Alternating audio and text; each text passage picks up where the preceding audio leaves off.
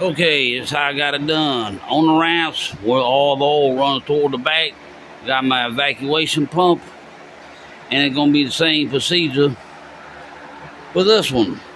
When I get this oil out and possibly take the oil filters off, but that's how I do it.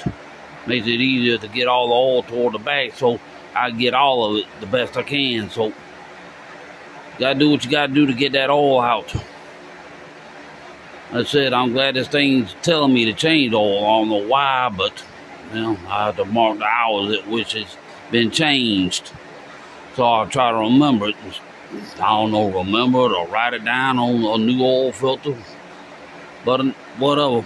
I wish this one had a uh, hour meter on it, but it don't. It, it's too late now. So y'all have a good one. See y'all later. Thank you.